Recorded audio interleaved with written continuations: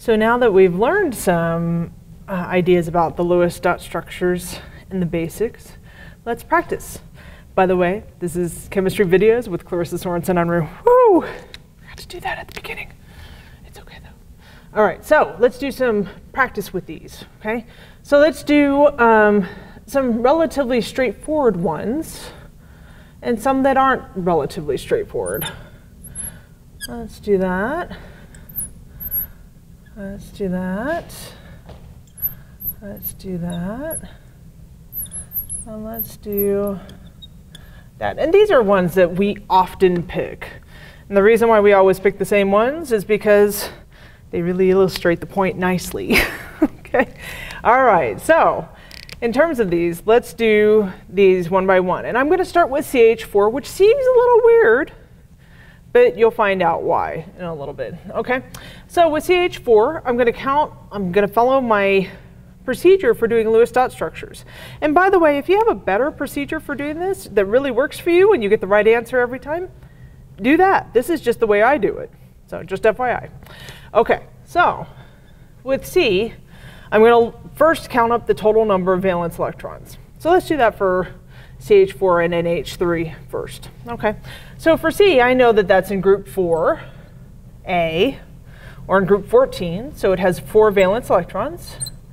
H is in group 1A, or group, uh, actually just group 1. So I know it has one valence electrons, and there are four H's.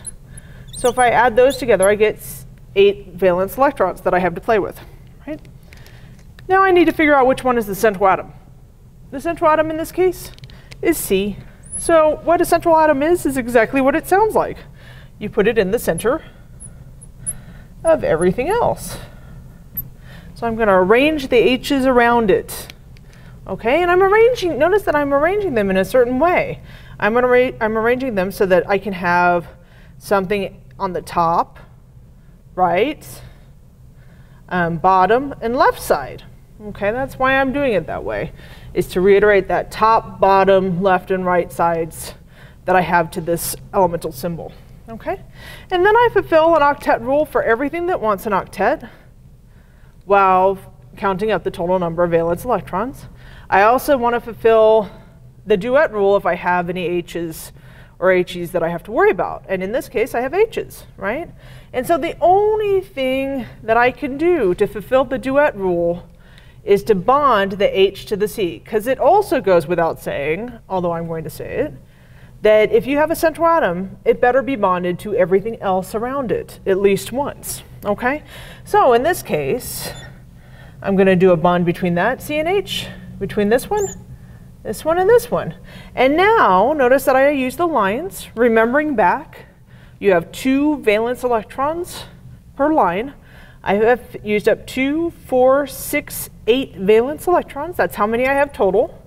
I have two that count for the H and two that count for the C in each of the pairs. So I have two around this H, two around that H, two around that H, two around that H, and two, four, six, eight around the C. So this is a great Lewis dot structure, and it's already done. The number of lone pairs in this molecule? Zero. There are no lone pairs in this molecule and I have four single bonds. And that's it. If you make it harder than it is, don't. if you can at all, try it out. Try not to do that. Okay, let's do N. For NH, or let's do NH3, ammonia. Okay, for NH3, I'm gonna do the total number of valence electrons again. I get five valence electrons from the N, because it's in group 15 or 5A. I get one from each of the H's, and there are three of them, which means I get a grand total of eight valence electrons again. Sneaky. All right, so in this case, let's figure out what the central atom is. The central atom is N in this case. And you should be seeing a pattern here as well. Like, huh, she always seems to pick the first one in the molecular formula that's not H. And you're right, I'm going to every single time. That works about 95% of the time. You can also pick the most electropositive atom. If you know anything about electronegative negativity, it's the opposite direction. Or you can pick the atom that'll make the most bonds. which, by the way, means that H will never be a central atom because it only makes one bond. It's not a very good central atom, atom at all. Okay? So in that case, H, I'm looking at the H's here. I arranged the H's around the N. If you did them, you know, here, here, and here, doesn't matter. Totally fine. I'm going to fulfill the duet rule for the H's first while bonding them once to the central atom. I have two, four, six, the last two to make eight. To fulfill the octet rule for the N are a lone pair on the N. Okay? And that's a great Lewis dot structure. It is the bane of beginning, uh, beginning chemistry students to create atoms where, the, or not create atoms, sorry, create electrons. Sometimes they create atoms too, but create electrons. Just draw in electrons until everything has eight, or everything that wants two has two, and just be like, all right, great, I did it, fantastic. Um, and not count in the end to make sure you have the same number you began with. That actually is critical at this stage for you to count in the end to make sure you have the same number you began with. Just FYI. Okay, let's do SO3. And while we're at it, let's do uh, count up the total number of valence electrons for SO2.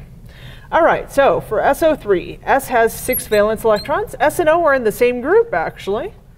Kind of crazy. So they're both in group 16 or 6A. So I get six from the S and six from each of the O's, and there are three of them. So that makes a grand total of 24 valence electrons. Ooh, and I'm squeaky. Let's try this out. Okay. All right, so 24 valence electrons for that sucker.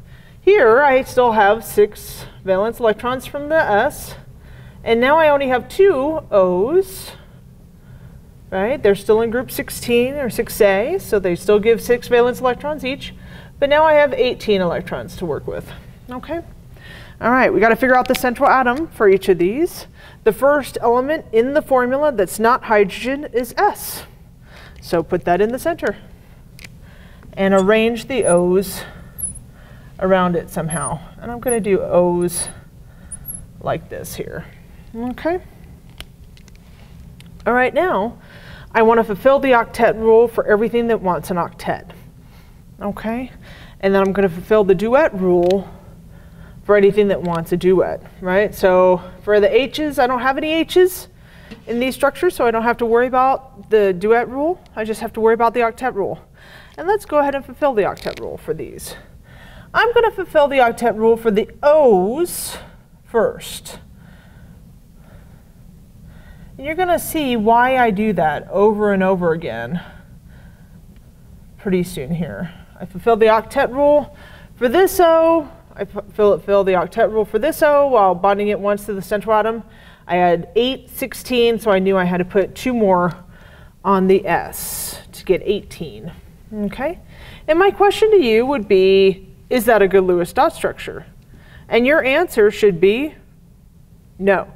because S doesn't have enough electrons. It doesn't have eight at this point. It only has two, four, six valence electrons. So what we need to do is we need to share a pair. Okay? When you share a pair, let me do this in green.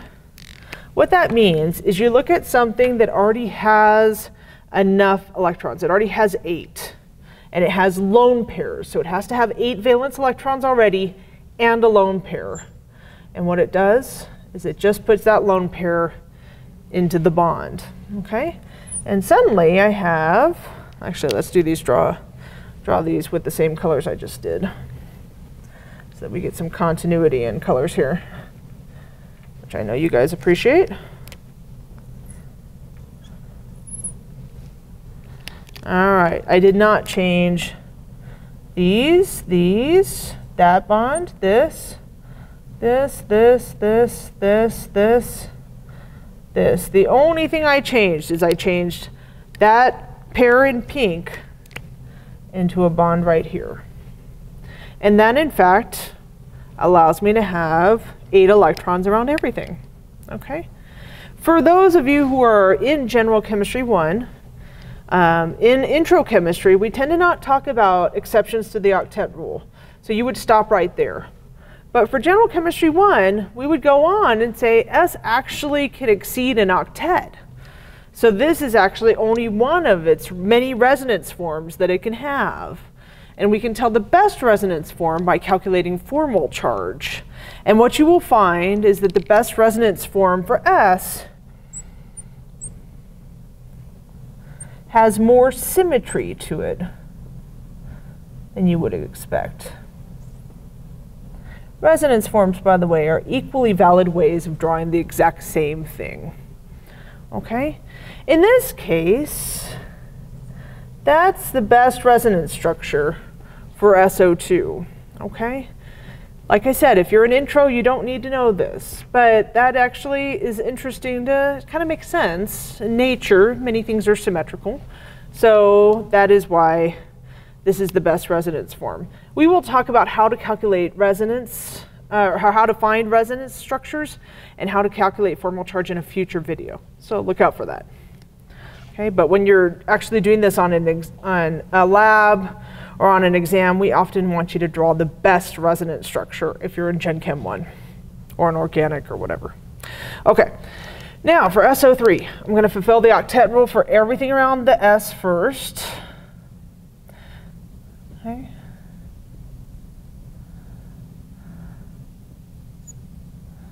And that makes 24 valence electrons. So 8 times 3 is 24. Again, S only has 6 valence electrons around it. So that doesn't work. We need to share a pair. So let's share this pair right? O already had enough, so I'm going to share that pair. And that would be great for intro. What you'll find in Gen Chem 1 again is that if you do formal charge, the best structure of this, and here I'm doing an overlapping valence or Lewis dot structure and VSEPR structure, kind of showing some geometry, actually has all of the O's double bonded. Okay, again, don't need to know that for intro. But if you have the joy and bliss of going on, or you're in general chemistry to begin with, then you need to recognize that, okay? What I want you guys to recognize also, if you're looking at a quick moment on these and seeing that they're symmetrical, and that's awesome, you'll also notice that the reason why I fulfill the octet rule for everything around the central atom first is because everything around the central atom always obeys this octet rule or the duet rule in the end. It's only the central atom that violates the octet rule. Here it has 2, 4, 6, 8, 10 valence electrons. Here it has 2, 4, 6, 8, 10, 12 valence electrons. And we can talk about where those extra electrons go and all kinds of things. But again, that's a future conversation. Okay? So an intro, just fulfilling the octet rule is good enough. For Gen Chem, you need to find the best resonance structure. All right, let's do the last one because we can. All right. Again, you want to make sure you have the same number of valence electrons in the end in your structure that you had in the beginning. And we do in both of these cases. Okay. For the last one, I'm going to count the total number of valence electrons. I have one from the H, four from the C's, or from the C, I should say, one C, and 5 from N, which gives me a grand total of 10 valence electrons. My central atom in this case is C. It's the one, first one in the formula that's not H. Okay. And here I'm going to fulfill the octet rule or the duet rule for everything around the C first. So H can only be bonded to C. I'm going to bond to N. And I get 2, 4, 6, 8, 10. And you say to yourself, is that a good Lewis dot structure? Uh, no, of course it isn't. C only has 2, 4 right now. So 4 valence electrons is not enough. The octet rule was actually made for C because it obeys it so regularly. So I'm not just going to put in one share of one pair, I'm going to share two pairs. And I get H, C, and a triple bond to N and that is my best structure. Okay, I want to make sure I have the same number in the end that I have to begin with, and I do. Okay, in this triple bond, I have six shared electrons, and that is Awesome. I have one single bond, one triple bond, and one lone pair in that molecule. All right. Until next time, I bid you adieu.